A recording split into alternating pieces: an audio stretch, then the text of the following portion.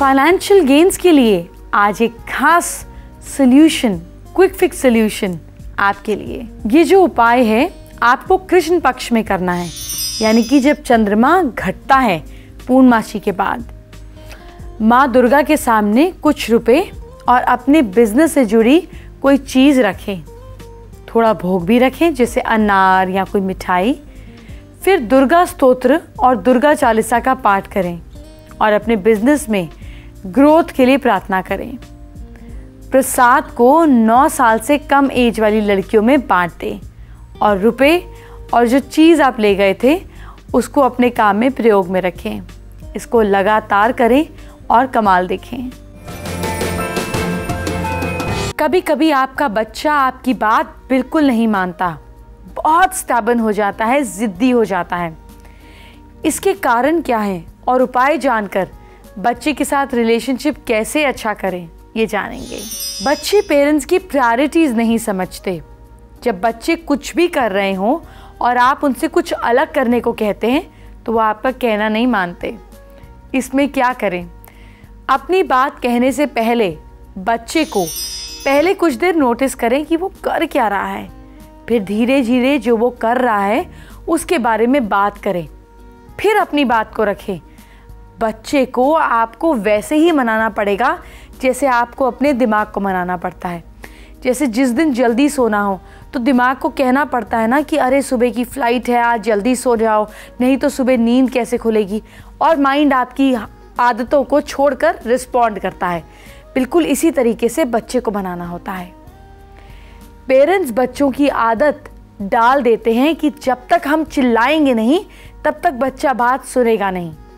अगर आपका बच्चा आपकी बात तभी सुनता है जब आप ज़ोर से बोलते हैं।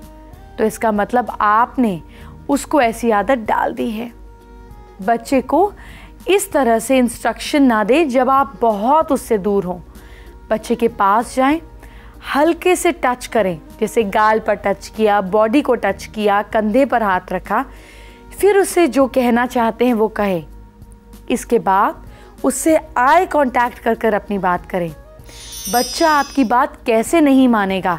वो इंस्टेंट आपके इंस्ट्रक्शंस लेगा। अपने काम से हटकर कुछ और करने के लिए बच्चों को आपकी ही मदद चाहिए।